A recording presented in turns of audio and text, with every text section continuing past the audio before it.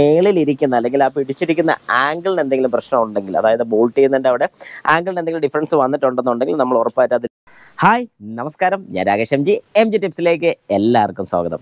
ഇന്നിപ്പോൾ ഞാൻ പറയാൻ പോകുന്ന ഒരു കാര്യം എന്ന് പറഞ്ഞാൽ നമ്മുടെ കൂടുതലും ആൾക്കാർ സെക്കൻഡ് ഹാൻഡ് വാഹനം എടുക്കുന്ന സമയത്ത് പൊതുവേ അതിന്റെ ഹിസ്റ്ററി ചെക്ക് ചെയ്യും. കാരണം പലർക്കും പല കണക്ഷൻസ് ഒക്കെ വെച്ച് അതിന്റെ ഹിസ്റ്ററി കൂടുതൽ എടുക്കാൻ ശ്രമിക്കും.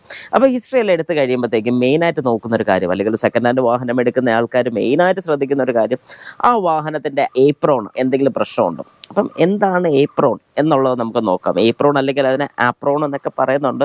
ശരിക്കും അതിന്റെ പ്രൊണൗൺസിയേഷൻ ഏപ്രോൺ എന്നാണ്. ഓക്കെ അപ്പം നമുക്കത് എന്താണ് സംഭവം? അല്ലെങ്കിൽ അതിനൊരു കംപ്ലൈന്റ് ഉണ്ടെന്നുണ്ടെങ്കിൽ എന്തൊക്കെ പ്രശ്നങ്ങൾ ഉണ്ടാവും അല്ലെങ്കിൽ അത് റീപ്ലേസ്മെന്റ് ചെയ്തിട്ടുണ്ടോ എന്നാണ് മെയിനായിട്ട് ചെക്ക് ചെയ്യുന്നത്. അത് റീപ്ലേസ് ചെയ്തിട്ടുണ്ടെങ്കിൽ ആ വാഹനം എടുക്കരുത് എന്നാണ് പലരുടെയും മനസ്സിൽ ഒരു ധാരണ. അപ്പോൾ എന്താണ് ശരിക്കും പറഞ്ഞാൽ ഏപ്രോൺ നമുക്കൊന്ന് നോക്കാം. നമ്മുടെ വാഹനത്തിന്റെ ഒരു സ്റ്റഡ് താങ്ങി നിർത്തുന്ന അല്ലെങ്കിൽ സ്ട്രട്ട് പിടിച്ചിരിക്കുന്ന ഒരു പോർഷൻ അതായത് ഈ ഒരു പോർഷനാണ് ഏപ്രോൺ എന്ന് പറയുന്നത്. നമുക്ക് ഈ കാണാൻ സാധിക്കുന്നത് ഇതുപോലെ തന്നെ ലെഫ്റ്റ് സൈഡിലും ഈ പോർഷനുണ്ട് ഇതിന്റെ മേളിൽ ഈസിയം ഇരിക്കുന്നുള്ളതാണ് നമ്മൾ കാണാത്തത് ഇതിന്റെ താഴെ അതേ സെയിം രീതി. അതായത് ആസിറ്റീസ് നമുക്ക് ഇവിടെ ഉള്ളതുപോലെ തന്നെ ആ സൈഡിൽ നമുക്ക് വരുന്നുണ്ട്. അപ്പം എന്താണ് ശരിക്കും ഇതിനൊരു ആക്സിഡന്റ് ഉണ്ടായാൽ? അതായത് അവിടെ ഒരു ഹിറ്റ് ഉണ്ടാകുന്നുണ്ടെങ്കിൽ ഒന്നെങ്കിൽ ഈ ഒരു പോർഷൻ കൂട്ടിയൊരു ഇടി ഉണ്ടാവണം. അല്ലെങ്കിൽ ഈ സൈഡിൽ നിന്നും ടയർ കൂട്ടി ഒരു ഇടി ഉണ്ടായി കഴിഞ്ഞാൽ ആ ഷോക്ക് താങ്ങി നിർത്തുന്നത് അതായത് നമുക്ക് നമുക്കിവിടെ കാണാൻ സാധിക്കും. ഇത് നമ്മുടെ ഷോക്ക് അബ്സോർവർ ആണ് അതായത് മേളത്തെ റൈറ്റ് സൈഡിലെ സ്ട്രട്ട് ഇവിടെയാണ് നമ്മൾ ലോക്ക് ചെയ്ത് വെച്ചിരിക്കുന്നത് അല്ലെങ്കിൽ ടൈറ്റ് ചെയ്ത് വെച്ചിരിക്കുന്നത്. അപ്പോൾ ഈ സ്ട്രട്ട് ഇരിക്കുന്ന ഒരു പോർഷനാണ് നമ്മൾ ഈ കാണുന്നത് നമുക്ക് മനസ്സിലായി. ഓക്കെ. അപ്പോൾ അതിന് എന്തെങ്കിലും ഒരു സംഭവം ഉണ്ടായാൽ അങ്ങനെ ഉണ്ടാവണമെന്നുണ്ടെങ്കിൽ ഞാൻ പറഞ്ഞ പോലെ ഒന്നെങ്കിൽ ഈ സൈഡിൽ നിന്ന് ഒരു ഇമ്പാക്റ്റ് അല്ലെങ്കിൽ ഇവിടെ നിന്ന് ഒരു ഇമ്പാക്റ്റ് വന്ന് ഇത് ഉള്ളിലോട്ട് കയറി അവിടെ ഒരു ഇടി കിട്ടിയിട്ടുണ്ടെങ്കിൽ ഒരു മേജർ ആക്സിഡന്റ് ആയിരിക്കും. അല്ലെങ്കിൽ ഒരു മേജർ ആക്സിഡന്റ് വന്നാൽ അങ്ങനെ ഒരു ഇമ്പാക്റ്റ് കിട്ടത്തുള്ളൂ. ഇപ്പോൾ ഈ സൈഡിൽ നിന്നാണെങ്കിൽ അതൊരു മേജർ ആയിരിക്കത്തില്ല. എന്നാലും ഇടിച്ച് സ്റ്റഡിന് എന്തെങ്കിലും പറ്റിയിട്ടുണ്ടെങ്കിൽ സ്റ്റഡ് മാത്രം ചിലപ്പോൾ മാറിയാൽ മതി. പക്ഷേ മേളിലിരിക്കുന്ന അല്ലെങ്കിൽ ആ പിടിച്ചിരിക്കുന്ന ആംഗിളിന് എന്തെങ്കിലും പ്രശ്നം ഉണ്ടെങ്കിൽ അതായത് ബോൾട്ട് ചെയ്യുന്നതിന്റെ അവിടെ ആംഗിളിന് എന്തെങ്കിലും ഡിഫറൻസ് വന്നിട്ടുണ്ടെന്നുണ്ടെങ്കിൽ നമ്മൾ ഉറപ്പായിട്ട് അത് ലെവൽ ചെയ്യേണ്ടി വരും. ചെറിയ രീതിക്കൊക്കെ ആണെങ്കിൽ വലിയ പ്രശ്നം വരുന്നില്ല. എന്നാൽ ഒരു മേജർ ആക്സിഡന്റ് ആണെങ്കിൽ നമുക്ക് ഏപ്രോണ് നമുക്ക് ഫുള്ളായിട്ട് മാറേണ്ടി വരുന്നുണ്ട്.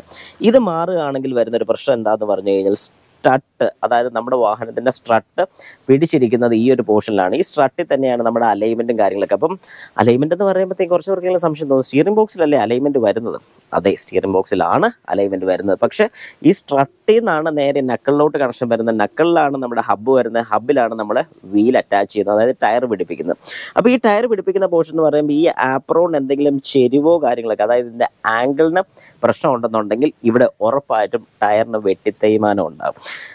അങ്ങനെ ഒരു വെട്ടിത്തേയ്മാനം വന്നു കഴിഞ്ഞാലോ അല്ലെങ്കിൽ ഇതിന്റെ ഒരു ആംഗിളിന് പ്രശ്നം ഉണ്ടെങ്കിലോ ഷോക്കിനൊക്കെ ആക്ഷന് ഒരുപാട് പ്രശ്നങ്ങൾ വരും. ഇത് കൂടുതലും പുറത്തുള്ള വർക്ക്ഷോപ്പുകളിൽ അതായത് പുറത്തെ പെയിന്റിങ് സെക്ഷനിലും കാര്യങ്ങളൊക്കെ ചെയ്യുന്ന സമയത്താണ് അവർക്ക് ഇതിന്റെ ആംഗിളോ കാര്യങ്ങളോ ഒന്നും ചെക്ക് ചെയ്യാനുള്ള ഓപ്ഷൻ ഇല്ല. പക്ഷേ ഓതറൈസ്ഡ് സർവീസ് സെന്ററിൽ അല്ലെങ്കിൽ ഓതറൈസ്ഡ് ഡീലേഴ്സിലൊക്കെ ഇതിന് വേണ്ടിയിട്ടുള്ള എക്യുപ്മെന്റ്സ് ഉണ്ട്. അങ്ങനെ ചെയ്യുന്ന സമയത്ത് ഇതിന് ഭാവിയിൽ അതായത് മുമ്പോട്ട് വേറെ പ്രശ്നങ്ങളോ കാര്യങ്ങളോ ഒന്നും വരത്തില്ല.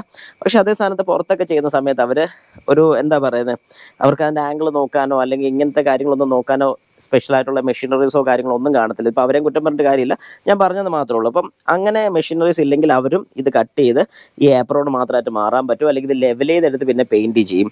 പിന്നീട് വരാൻ സാധ്യതയുള്ള പ്രശ്നങ്ങളെന്ന് പറഞ്ഞാൽ ഇവിടെ തുരുമ്പും കാര്യങ്ങളൊക്കെ വരും. അതായത് കമ്പനി പേസ്റ്റിംഗ് മാറ്റിക്കഴിഞ്ഞ് നമ്മളൊരു പേസ്റ്റിംഗ് ഇടുകയാണെങ്കിൽ ആ പേസ്റ്റിങ്ങിൽ തുരുമ്പെടുക്കാനൊക്കെ ഉള്ള ചാൻസസ് വളരെ കൂടുതലാണ്. പിന്നെ ഈ പേസ്റ്റിങ്ങോ തുരുമ്പെടുക്കുന്നോ ഒന്നും അല്ല ഇതിനകത്ത് മെയിൻ ആയിട്ടുള്ള വിഷയം. ഇതിന്റെ മെയിൻ വിഷയം എന്ന് പറഞ്ഞു കഴിഞ്ഞാൽ ആംഗിൾ കറക്റ്റ് ആയില്ലെന്നുണ്ടെങ്കിൽ നമ്മുടെ വാഹനത്തിന്റെ ടയർ വെട്ടി തേയ്മാനം ഉണ്ടാവും. പിന്നെ നമ്മുടെ ഷോക്കിന്റെ വർക്കിങ്ങോ കാര്യങ്ങളൊന്നും ചിലപ്പം പ്രോപ്പർ ആയിരിക്കത്തില്ല. അതായത് ആ ഷോക്ക് ഇരിക്കുന്ന ഒരു ആംഗിൾ ഉണ്ട്. ആംഗിളിൽ നിന്ന് വ്യത്യാസം വന്നു കഴിഞ്ഞു കഴിഞ്ഞാൽ ചിലപ്പം മുമ്പോട്ടൊക്കെ ഒരു കോർണറിങ്ങും കാര്യങ്ങളൊക്കെ എടുക്കുമ്പോൾ വാഹനത്തിന്റെ ടയറിന് കൂടുതലും വെട്ടിത്തേയ്മാനം കാര്യങ്ങളൊക്കെ വരാനുള്ള ചാൻസസ് ഒരുപാട് കൂടുതലാണ്.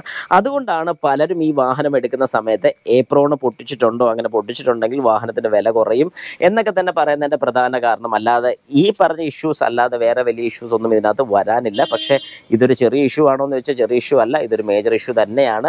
അത്രയും വലിയൊരു ഇമ്പാക്റ്റ് ഉണ്ടായ ഉണ്ടായാൽ മാത്രം ആ പറഞ്ഞൊരു പോർഷനിലോട്ട് ഇടി കയറി വരത്തുള്ളൂ. അപ്പോൾ ഇനിയെങ്കിലും നിങ്ങളുടെ മനസ്സിൽ ഇങ്ങനെ ഒരു സംശയം ഉണ്ടെന്നുണ്ടെങ്കിൽ ക്ലിയർ ആയെന്ന് ഞാൻ വിശ്വസിക്കുന്നു. ഇതിൽ എന്തെങ്കിലും സംശയം ഉണ്ടെങ്കിൽ ജസ്റ്റ് എന്റെ കമന്റ് ബോക്സിൽ ഒന്ന് രേഖപ്പെടുത്തുക.